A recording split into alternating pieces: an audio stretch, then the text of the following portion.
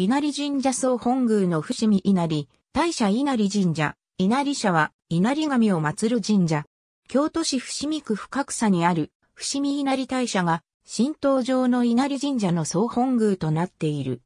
神仏分離の際、稲荷神社は多数の神道系と少数の仏教系とに分かれた。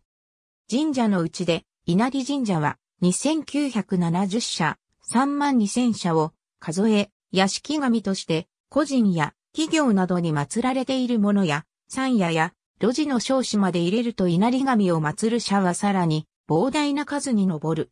参道の鳥神道系の稲荷神社の入り口には通常、朱色の鳥居が建てられている。朱塗りは社殿や鳥居で広く使われ、稲荷を象徴するものになっている。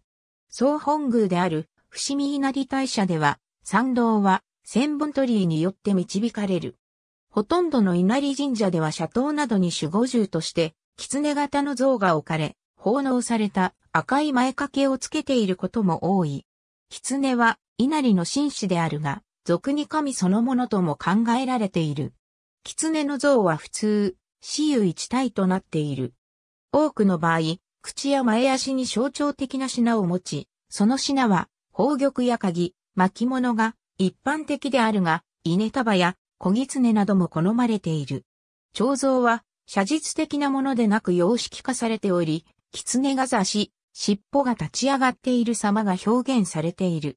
これらの共通した特徴にもかかわらず、各像は非常に個性的であり、完全に同じであるものは二つとしてない。